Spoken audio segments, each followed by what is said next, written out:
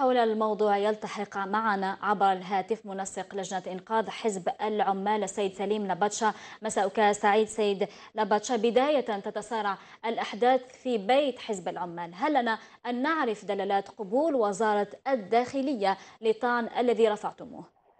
شكرا. مساء الخير. أهلا.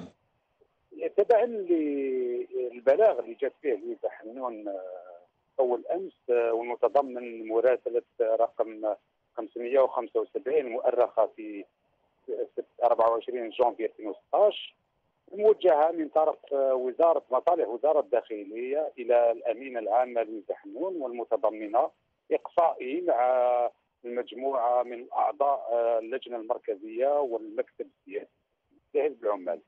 هذا الملف اللي قدمته الامينه العامه لوزاره الداخلية كان فيه مغالطات ومراوغات نعم وتم إعلان هذا البلاغ عقدنا اجتماع لقيادة الحركه حزب انقاذ حزب العمال وتناقشنا في هذا الأمر وطرحنا يعني جبنا الأدلة والثبوت ودعنا طعن لدى مصالح وزارة الداخلية لكن فيما يتعلق بدلالات القبول نعم.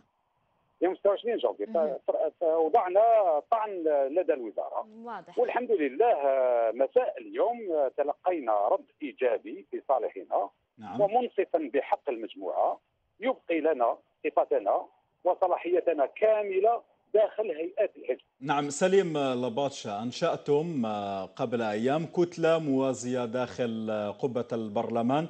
ربما ما هي الخطوات مستقبلا في مسار الإطاحة بلويزا حنون؟ هي على كل حال الحركة اليوم راح يتحقق نجاحات. نعم. نجاح تلو الآخر وهي الخطوة المقبلة إن شاء الله هي عقد دورة استثنائية للجنة المركزية لسحب الثقة. من الأمينة العامة ومجموعاتها. نعم. ووضع يعني مكتب انتقالي اللي راح يكون المهمة الأساسية والرئيسية تاعو هي تحضير مؤتمر استثنائي. نعم. شكرا لك السيد سليم. لباتشا منسق لجنة إنقاذ حزب العمال حدثنا عبر الهاتف في حصاد الليلة شكرا لك. شكرا.